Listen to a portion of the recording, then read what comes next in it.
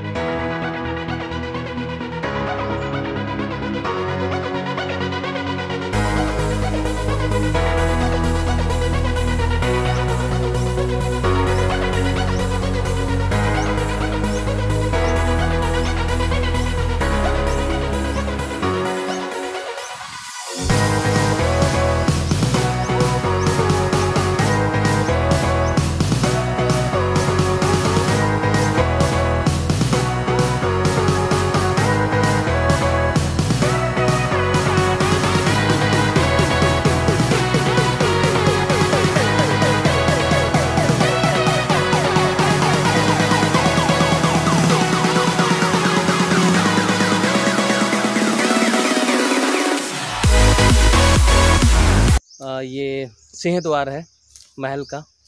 और इसके अंदर भव्य महल है। दोस्तों, आप लोग इंतज़ार की घड़ी अब ख़त्म होने वाली है। आप लोगों को महल दिखाने वाला हूँ। बस ये गेट के अंदर जाते ही आपको भव्य महल दिखेगा। ठीक है? बने रहिए। और उस समय के जो कारीगर हैं, कैसे बनाए हैं, और ये देखिए, पत्थरों को रचा गया है और कैसे बैलेंस किया गया होगा और भव्य महल तैयार हुआ होगा।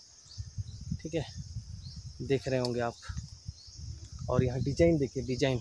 पत्थरों का डिज़ाइन यहाँ पर। दूसरे छोर पे आप लोग देख रहे होंगे। ये यहाँ पे डिज़ाइन है और यहाँ पे कुछ बना हुआ है, डिज़ाइन है। और इसलिए ये क्या टेढ़ा है? तिरछा हो चुका है। समय के प्रभाव के कारण किस तरह चेंज हुआ है क्लाइमेट अब आप देखिए इस तरफ़। ये क्या उस तरफ़ झुका हुआ है? और क्रैक भी हो चुका है। अब देख रेख के अभाव में, क्योंकि यहाँ पे प्रशासन भी कुछ नहीं, ऐतिहासिक धरोहर में ये गिना जाता है। कई लोगों को जानकारी नहीं है, इसे संरक्षित नहीं किया गया है। और ये तो हो गया मुख्य गेट है जो सिंह द्वार बोलते हैं जिसे, और इस बाजू में कुछ बना हुआ था डिज़ाइन, वो भी है। अब मैं इतना बता नहीं पाऊँगा उसके बारे में, आप लोगों को वहाँ पे ले जाकर दिखा लेता हूँ। किस तरह का है यहाँ पे डिज़ाइन बना हुआ है? कुछ रहा होगा यहाँ पर भी। मंदिर जैसे द्वार मुंडिया जिस तरह का बनाते हैं यहाँ पे। पहरेदार उस टाइप का यहाँ पे रहा होगा। मंदिर या कुछ देख लीजिए यहाँ डिज़ाइन अभी भी बना हुआ है। ठीक है, अब देखते हैं आगे महल का वो रुक करते हैं हम लोग।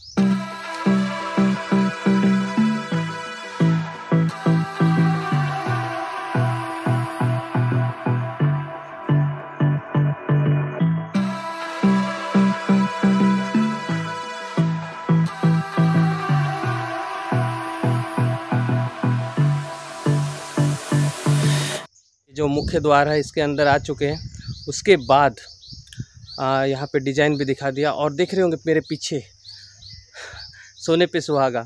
क्या है यहाँ पे एक क्या पेड़ है? अब डूमर का है जहाँ तक। आ, तो यहाँ पे ऐसा लग रहा है देख रहे हैं हॉरर टाइप का हॉरर फ़िल्म टाइप का। ठीक है देख लो आप लोग भी। अब आप लोगों को सिनेमेटिक दिखाता हूँ पास ले जाकर। बाकी इधर पत्थर पूरा यहाँ यहाँ तहाँ पूरा बिखरा हुआ है। एक महल था यहाँ पे, हज़ारों साल पहले। और उधर मंदिर कुछ कुछ, यानी बना हुआ है। और यहाँ देख सकते हैं यहाँ पे, पेड़ को देख सकते हैं आप लोग। देखिए क्या भव्य है ये भी, और बहुत पुराना है। वीडियो के आखिर तक बने रहिए। बहुत ही पुराना एक हज़ार साल पहले का इतिहास बता रहा हूँ जो इतिहासकारों के द्वारा जानकारी मिली है और शिलालेख के द्वारा वो मैं आज बताऊँगा। मधुरांतक राजा जो थे का वीडियो बनाऊँगा। और आप लोग बने रहिए। जिसने सब्सक्राइब नहीं किया वो सब्सक्राइब कर लीजिए और लाइक कमेंट ज़रूर कीजिए दोस्तों। और बताइए कुछ त्रुटि है कुछ गलतियाँ होती है हमसे तो हम सुधारेंगे। ठीक है? आप लोग बने रहिए, हम बस्तर के बारे में कुछ जानकारी आप सभी से, सभी को देना चाहते हैं। और आप लोग बताइए कैसा वीडियो बन रहा है।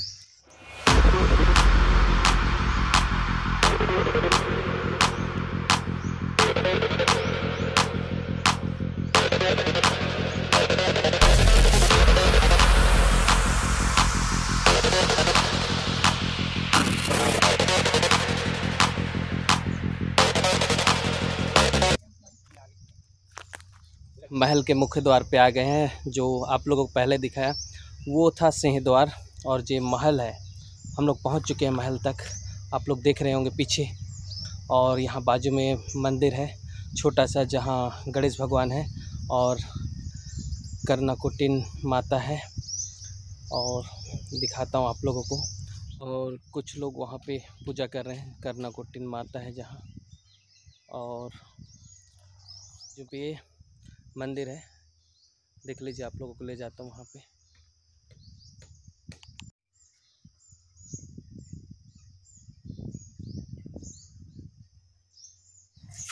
एके चोरून नेवरला हन ऊपर में चढ़ू रहे ऊपर में हिटाउन चोरून नेवरला अंदा देवी धर तो के लोहू लोहू पुरकते यहाँ से हमरा दिला एता आते बे खाली आसन बनाऊन एता मंढानी कर ले सारे, एता चाउर चगाए से। यार ये था वरदान देवा है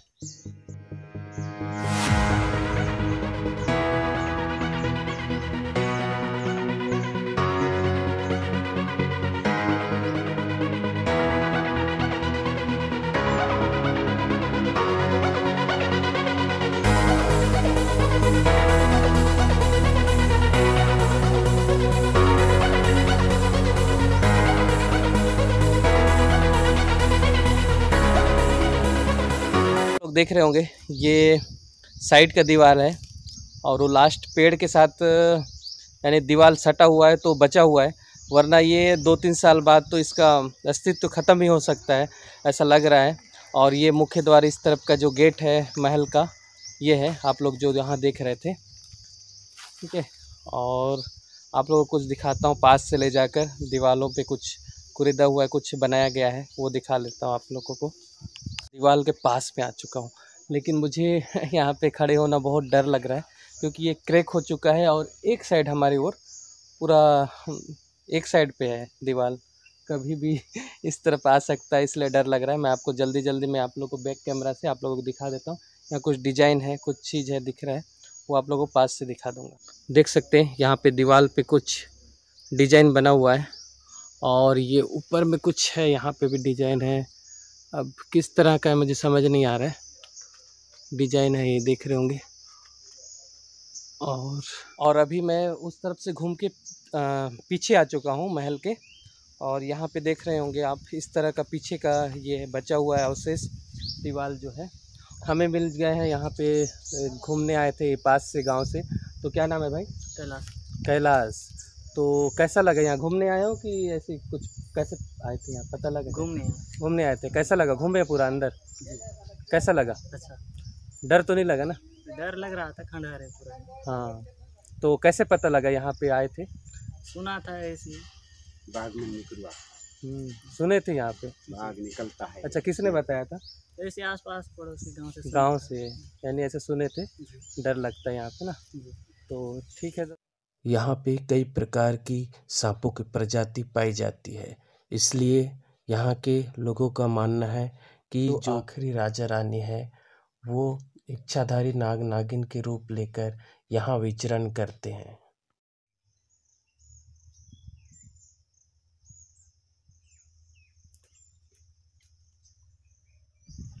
आप लोग देख रहे होंगे यहाँ पे जर्जर स्थिति में ये महल और आप लोगों को यहाँ पे मुख्य द्वार दिखाता हूँ, जो इमली का पेड़ है सामने। और यहाँ पे देख रहे होंगे आप, यहाँ पे डिज़ाइन देखिए, मुख्य द्वार के साइड में ये अलग अलग यहाँ पे क्या बोलूँ कमरे नुमा बनाया गया है। और इस पेड़ पे देख रहे होंगे आप, ये पत्थर जैसा दिख रहा है, ठीक है। ये है, देख लीजिए, अवशेष है जो लगभग आठ से दस फीट का होगा पत्थर है जो। और ये एक पेड़ के बीचों बीच जकड़ा गया है। यानी पेड़ ने उसे जकड़ लिया है। देख रहे होंगे। और ये हमें बहुत आकर्षित, आकर्षक लगा। हमें यहाँ पे है। ये जो गेट है, ठीक है? यहाँ पे गेट है जो ऊपर आप लोगों को दिख रहा होगा। कुछ था होगा वहाँ पे मूर्ति, यानी मूर्ति, गणेश का मूर्ति बोल रहे थे जो पुजारी है, वो मूर्ति बता रहे थे कि वहाँ पे था। उसे किसी ने चोरी करके ले गया, उसे यानी कि कुछ परेशानी हुई होगी तो उसने डर के डर के मारे लेके आ गया। और ये जो गेट है यहाँ का, जो महल का गेट है तो यहाँ पे डिज़ाइन बना हुआ है, यहाँ पे कुछ मूर्तियाँ रही होगी। ये केक है, उसके बाद ये।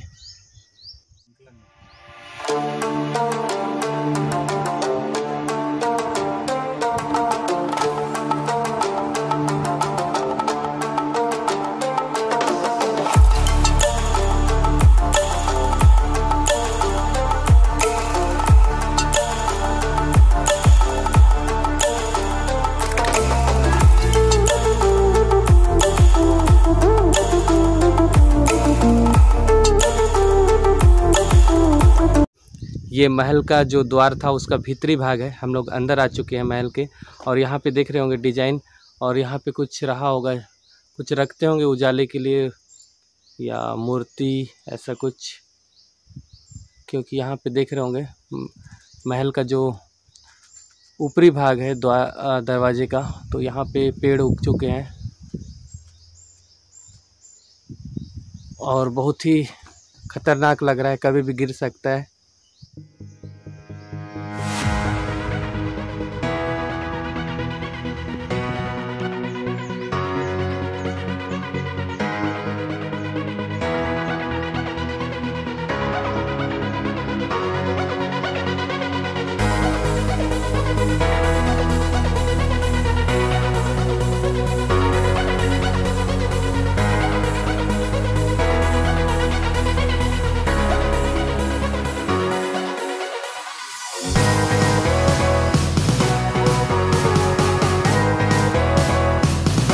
देख रहे हैं ये राजपुर का महल और यहाँ के जो कर्नाकुटिन वाले पुजारी हैं, कर्नाकुटिन देवी तो वहाँ जो बाहर में पूजा कर रहे हैं, वो हमें दिखा रहे हैं पूरा महल। नहीं तो हमें अंदर आने का हिम्मत ही नहीं होता। ठीक है? जो जो सुने थे हम लोग, थोड़ा सा डर लग रहा था। तो ये देख लीजिए, यहाँ पीछे में महल का जो द्वार है, यहाँ से एंटर होते थे। एंटर जो गेट वाला वो है, बाकी महल का गेट है। ठीक है? देख रहे होंगे आप। और वहाँ पे पंडित जी बता रहे हैं तो हम लोग भी चलते हैं वहाँ पे और वहाँ का दृश्य दिखाता हूँ। तो ये पंडित जी दिखा रहे हैं यहाँ पे, दूध नांग निकलता है, इधर बोल रहे हैं। तो थोड़ा सा देख लेते हैं, कहीं ले जा रहे हैं। पूरा अवशेष के ऊपर में है हम लोग। देख रहे होंगे। पुजारी जी का कहना है यहाँ पे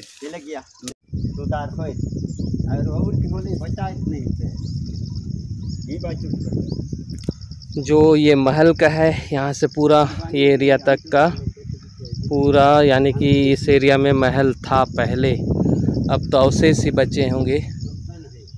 ठीक है, आप लोगों को दिखा रहा हूँ। और नीचे महल का ये जो पीछे के लिए रास्ता वगैरह है। और दोस्तों, मैं आप लोगों को यहाँ का वीडियो बना रहा हूँ। अब ऐसे जगह में चढ़ा हूँ मैं आ, मुझे डर लग रहा है क्योंकि एक पिलर है यानी कि सीधा खम्बा है जो महल का जो छोर था वहाँ पे देख रहे होंगे आप पूरा ऊँचा में चढ़ा हूँ और अच्छे से दिखाता हूँ मैं एक पिलर पे चढ़ा हुआ हूँ देख रहे होंगे। सिर्फ़ एक खम्बा है उसके ऊपर चढ़ा हूँ और इधर का नज़ारा दिखा रहा हूँ आपको इस एरिया का। तो बहुत ही डर भी लग रहा है मैं ऐसे जगह में चढ़ा हूँ तो आप लोगों को दिखा देता हूँ कहाँ पे हूँ मैं। दिखाता हूँ, मैं कहाँ पे चढ़ा हुआ हूँ, देख रहे होंगे, आप लोग के लिए वीडियो बना रहा हूँ, एक सीधा इतना ही खंबा बचा हुआ है, वहाँ पे चढ़ा हुआ हूँ। और देख रहे होंगे, पीछे महल है। दिख रहा होगा, पीछे महल, यानी कि उसी का एरिया, ये खम्बा है, उसका वहाँ पे चढ़ा हुआ अभी हम महल के जो पीछे का द्वार है, वहाँ पे है। और देख लीजिए, ये पूरा जंगल से घिरा हुआ है, पीछे पूरा जंगल झाड़ी है। और आप लोगों को दिख रहा होगा जो ये दीवार का टॉप है यहाँ पे। लगभग पंद्रह फीट ऊपर होगा ऊँचा और हमें पुजारी जी ने मुझे वहाँ पर खड़े होकर दिखाया था कि यहाँ पे कितना अच्छा नज़ारा है। यहाँ तक का राज्य था इनका यानी कि महल था, इतना बड़ा और जगह था यहाँ पे। ये देख रहे थे हम लोग और वहाँ उस समय ध्यान भी नहीं था मेरा और रुपेश भैया मेरे पीछे, जस्ट पीछे थे और यहाँ से हम लोग देख रहे हैं तो ऐसा लग रहा है कि हम लोग अगर थोड़ा सा भी अगर हिलते, वहाँ से गिरते तो टांग हाथ टूट ही जाता। तो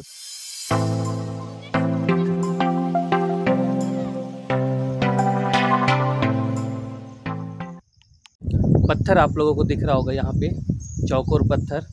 तो हमें पुजारी जी ने बता रहे, बताया था कि यहाँ पे जब पहले, हज़ार साल पहले, जब यहाँ पे राजा यहाँ पे बैठा करते थे और जो प्रजा के समस्याओं का हल करते थे, यहाँ पे यहाँ पे सभा होता था। राजा का दरबार लगता था और देख रहे होंगे महल का द्वार।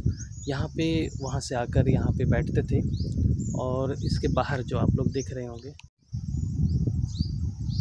ये जो पत्थर है, यहाँ से आप लोग देख रहे होंगे। यहाँ पूरा आम सभा लगता था यहाँ पे। राजा यहाँ पे सभा लेते थे, जो भी फरियादी आते थे, यहाँ पे बैठा करते थे, जो यहाँ का जगह है, और उनके समस्याओं का निराकरण करते थे। ऐसा हमें यहाँ के पुजारी जी ने बताया था।